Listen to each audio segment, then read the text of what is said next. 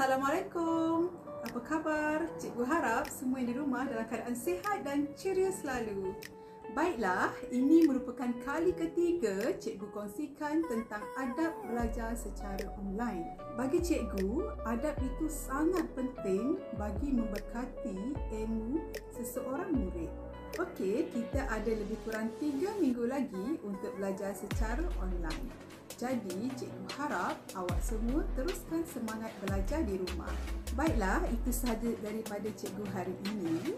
Bagi mereka yang memerlukan perkhidmatan bimbingan dan kaunseling, sila hubungi kaunselor pilihan anda. Okey, itu sahaja. Bye. Assalamualaikum.